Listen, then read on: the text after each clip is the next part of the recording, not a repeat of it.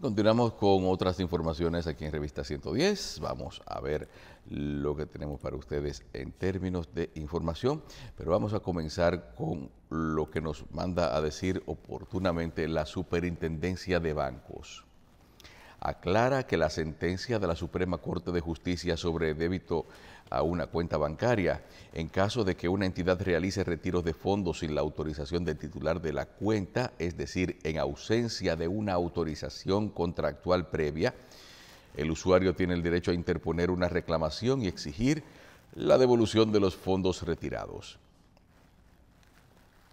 La Superintendencia de Bancos explicó que las entidades de intermediación financiera no pueden realizar débitos a una cuenta si su titular no los ha autorizado. Aclaró que esto no supone que una entidad esté impedida de aplicar débitos automáticos, sino que puede hacerlo únicamente si tiene la autorización del titular de la cuenta. Estas autorizaciones se formalizan de manera contractual, es decir, mediante un acuerdo firmado entre las partes en el que se especifica que el banco podrá hacer débitos de una cuenta específica para un fin en particular, por ejemplo, para el pago de la cuota mensual de un préstamo. En caso de que una entidad no observe estos criterios y realice retiros de fondos sin la autorización del titular de la cuenta, dígase en ausencia de una autorización contractual previa, el usuario tiene el derecho a interponer una reclamación y exigir la devolución de los fondos retirados. La Superintendencia de Bancos hace las aclaraciones luego de que la Suprema Corte de Justicia diera a conocer la sentencia asociada a una devolución de valores depositados por error en una cuenta bancaria. En la pieza, la Alta Corte estableció su criterio de que constituye una falta atribuible al banco la realización del débito a la cuenta de ahorros cuyo titular es el demandante sin participación del cuentahabiente. La superintendencia precisa que esto no obstaculiza la posibilidad de que el titular de la cuenta autorice débitos de manera contractual. Es importante aclarar que la decisión de la Suprema Corte de Justicia, expresada en la sentencia, así como los argumentos que la motivan, se producen en el marco de una demanda en que los débitos son requeridos por em-, el empleador del demandante bajo el alegato de que se realizó la transferencia por error afirma el organismo supervisor. Añade que circunstancias de esta naturaleza son muy distintas a los escenarios en los que contractualmente se ha estipulado la posibilidad de que las entidades de intermediación financiera realicen débitos para solventar obligaciones de pago a los usuarios frente a la entidad. Aquí vamos sobre la sentencia. La Suprema Corte de Justicia dio a conocer la decisión 0961-2021 que falla el recurso de casación incoado contra una, la decisión 494-2015 dictada por la segunda sala de la Cámara Civil y Comercial de la Corte de Apelación del Distrito Nacional del 25 de junio del 2015, confirmando una sentencia de primer grado emitida al respecto. En esta pieza, la Suprema Corte de Justicia se refiere a una demanda basada en una solicitud de devolución de valores y reparación de daños y perjuicios interpuesta por un usuario en contra de una entidad de intermediación financiera. El usuario había recibido los fondos de su empleador por error y por solicitud del mismo empleador el banco procedió a retirar las sumas y devolverlas a la cuenta de origen. El usuario alega que la entidad de intermediación financiera retiró los fondos depositados por error sin autorización, mientras la entidad alega que el retiro le fue ordenado por el depositante o dueño del dinero. La demanda del usuario fue rechazada en primer grado y esta decisión fue ratificada posteriormente en apelación. La sentencia de apelación ratificó la decisión de primer grado, estableciendo el criterio de que no es costumbre ni práctica bancaria que al depositarse valores en una cuenta que no es la correcta, se solicite autorización del titular de la cuenta beneficiaria de manera errónea para subsanar el hecho. La eh? Esto es de la Superintendencia de Bancos. Pero eh, además de ser un compromiso de, divulgar esta información, nos sirve de manera muy ilustrativa y nos recuerda mucho a un amigo nuestro que le gusta echar ciertos pleitos. Bien, ¿cómo fue que la Suprema Corte de Justicia dijo algo, emitió una sentencia que todo el mundo dice, ahora sí es verdad, los bancos no nos pueden sacar el dinero de la cuenta sin autorización. Pues resulta que todo eso vino por un empleado al cual por error se le depositó un dinero, el empleado parece ser que quiso alzarse con el santo y la limosna con un dinero que vio en su cuenta y creyó que podía disponer de él y el empleador pidió al banco que retirara esos fondos y que lo depositara en la cuenta en que debieron haberse depositados originalmente. Entonces, esa persona se sintió agraviada porque contaba con un dinero que no era de él y que apareció en su cuenta. Y en vez de ponerse a averiguar, lo que hizo fue que dijo, el banco no tiene derecho a quitarme dinero sin autorización mía. Eso fue lo que pasó. Mira, lo que pasa es que aquí no les gusta dar a conocer el origen de las cosas. Mientras aquí se esté usando un lenguaje propio de cada segmento de la economía o de la sociedad, de cualquier cosa, nosotros vamos a tener problemas. El usuario, el depositario, el que sé yo qué, retrata exactamente lo siguiente. Los bancos, el Estado le autoriza a que reciban depósitos, que reciban dinero ajeno la función del banco es dos cosas, guardar dinero, pagar intereses por ese dinero o prestar dinero que es ese mismo dinero que se presta. Sí. ¿Verdad? Claro. Eso es la función del banco. El, banco no tiene que hacer más nada. ¿eh? Te presto o te recibo tu dinero para guardártelo y te pago. Siempre lo que pago es menos del valor por el que presto. Bien, son dos, dos eh, entes, el cliente y el banco. En este caso hay tres, que es el cliente, el banco y el patrón del empleado que, que hay empresas que le depositan el sueldo en bancos que no te dan un sobre ni te dan un cheque, sino que te dan una tarjeta de retiro de ese dinero. Eso es lo que hay que decir primero. Ahora, ¿qué parece que pasó ahí? El patrono le colocó a su empleado un dinero por error. El empleado cree que se sacó el premio. Eso fue. Cree que se sacó el premio y quería disponer. El banco corrigió el error lo corrigió sencillamente. Ese dinero, no, no, me, yo me equivoqué o el patrono se equivocó, pero tuyo no es. Eso fue lo que pasó y lo pusieron en el lugar que tenía que ir, que era la cuenta del que lo depositó, que fue el patrón. Ya se acabó. Ahora, se buscó un abogado habilidoso y dice, ah, pero aquí tenemos un caso. Luego quitaron los cuartos. Y el fallo de la Suprema o el fallo que han dado no es que los bancos no pueden hacer eso, porque cuando tú abres una cuenta de, de óyeme, una cuenta corriente, una cuenta de ahorro, una tarjeta de crédito o una tarjeta de débito, tú autorizas al banco sí, a, hacer los descuentos. sin hablar, sin, sin, sin comunicártelo. Es decir, que si tú tienes un préstamo en un banco y tienes cuarto en una tarjeta, ellos pueden, cuando se vence el préstamo, coger los cuartos de ahí y abonártelo al préstamo, sin decírtelo. ¿Qué dice la Suprema? Lo Suprema lo que dice es que en lo adelante hay que decirle al cliente que le van a, a sacar los cuartos de la...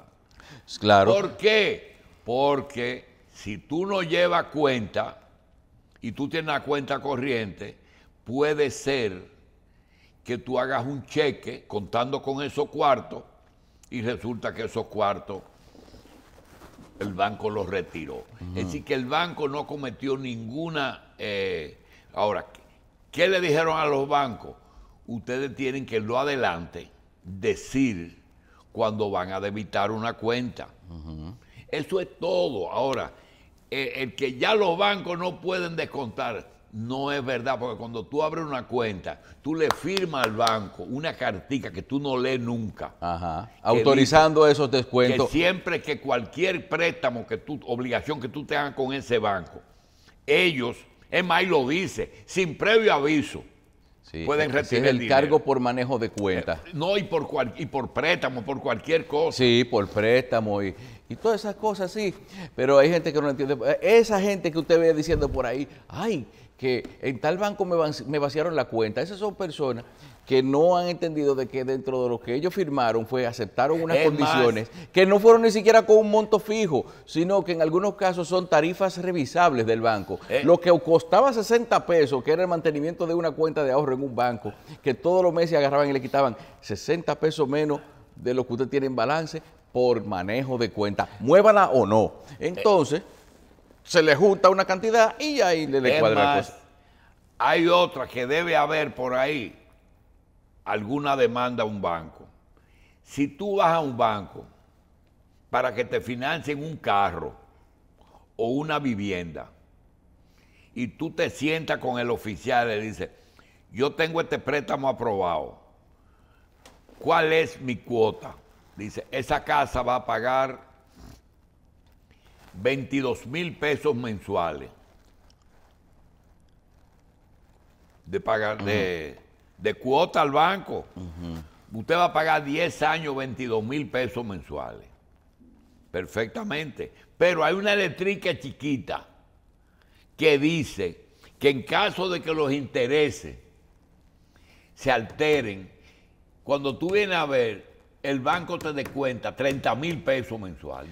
¿Y por qué? Por eso es que tú ves que los bancos promueven interés fijo durante cinco años. Eso es, ah, claro. Porque, tú firmas. Tú no puedes firmar, o sea, el contrato puede tener de que la cuota, una cuota que después puede verse muy por encima de eso, por eso, por la revisión de los intereses. Oh, pero seguro, tú lo firmas, porque el banco, a nombre de que protege dinero ajeno, puede hacer muchas cosas. El banco es un pachá Tú oye, ¿por qué? Porque el dinero no es del banco. Pero, el dinero es del, ahorrante, del otro que va y guarda su cuarto ahí. Pero ahora, usted quiere una, una arbitrariedad más grande, doctor, que la tabla de amortización. ¿Usted ha visto una tabla de amortización? Sí, yo lo he visto, pero tú la firmas. Sí, pero uno la firma porque la necesita y además su plan es... se llama contrato solidario. Ajá. Yo firmo lo que dice ahí porque lo necesito. Que dice que al principio usted paga más, más intereses que capital. Se queda debiendo... yo te pongo ahí lo que estábamos hablando antes con Melvin. El tema de los fondos de pensiones una cosa es tener razón, una cosa es tener derecho y otra cosa es tener necesidad. Tú tienes un muchacho, dos meses de nacido, lo que tú más quieres es tu hijo, y empieza a convulsionar en tu casa. Tú coges tu muchacho y lo metes en una emergencia. Aparece una enfermera que te dice, usted tiene seguro. Y entonces tú le dices, mire señora, los genitales de su mamá, bájemele la fiebre al muchacho y después hablamos del seguro o de quién va a pagar. Ese es el problema. Los fondos de pensiones, ¿de quiénes son? Del ahorrante, ¿Eh? del empleado, del, del dueño de los Del dueño. Ahora, por el hecho de que hay una crisis, hay que devolverlo.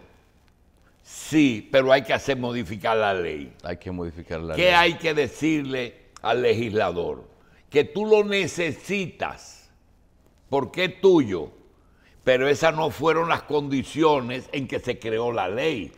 La ley se creó que del sueldo te iban a quitar un pedacito y que algún día tú ibas a usar, pero no lo podías usar. Y punto. Cuando aprobaron esa ley, nadie se opuso. Aprobaron su ley, cogieron su cuarto, ni siquiera algo que es demoledora la, respuesta. es que cuando tú vayas a cobrar tu dinero, tú lo que vas a cobrar es un 10 o un 15% de esos cuartos. Sí. Porque no van a tener el mismo poder adquisitivo. No, no, va a ser una proporción muy mínima. ¿Qué es como lo un que yo- 20% de lo que fue el ¿Qué sueldo. es lo que yo haría? Yo entrego la totalidad. Entregaría la totalidad. Y que cada quien ahorre su vaina y, y se la bandee solo. ¿Qué problema hay? Que ese dinero no existe. Porque las AR, las, el. Fondo de Pensiones, prestó ese dinero más para adelante. Lo utilizaron para, para, que- poder, para poder lograr la rentabilidad de las pensiones. Tuvieron que hacer inversiones con ese dinero.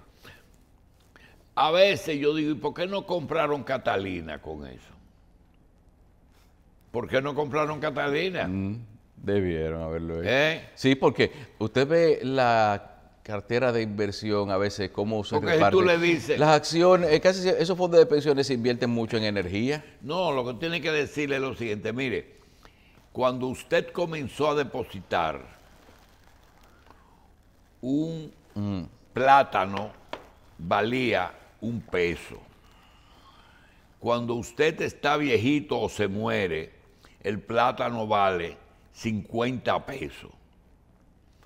Por tanto, tenemos que ponerlo a ganar para que ese dinero se convierta un peso en 50 pesos.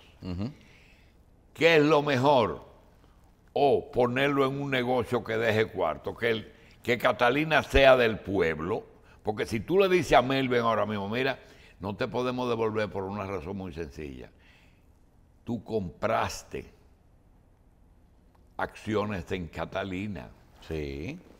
Ya, tú eres due- Doctor, yo soy accionista de Eje y de Agitabo. ¿Eh? Accionista de las Ejejaina, Ejeitabo y par de cosas más, ah, porque yo recibo todos los meses lo que es la forma en que se está eh, invirtiendo, un detalle de la AFP en la cual dice cómo, en qué títulos de valores, en qué, bono, qué se compró en bonos con el dinero que se está recaudando por mi pensión. Pero no es que yo sea accionista, simplemente que la AFP tomó ese dinero para meterlo ahí y obtener una ¿Dónde rentabilidad. fue que lo metió? No, en las eh, en los sectores que está metido está en Jaina, Ejeitabo, eh, esas empresas que se generadora. capita- esas empresas entre otras que de otra naturaleza que se capitalizan en base a la emisión de bonos y las AFP son que lo compran. Eso es lo que pasa. Es que hay muchas cosas que no tienen sentido. Por ejemplo, aquí en los 90 quebraron muchísimos bancos. El Estado tuvo que asumir esa pérdida. El- a principio, en el 2003, quebraron dos o tres bancos grandes que menearon la economía. Si el Estado es responsable, yo me pregunto, ¿por qué el Banco de Reserva no asumió esos bancos? Ciertamente. ¿Por qué no lo asumió? Salía hasta más económico hacerlo así. Ah, porque había que favorecer a otros bancos entregándole eso. Vamos a una pausa que llegó. Vamos a una pausa que llegó Félix.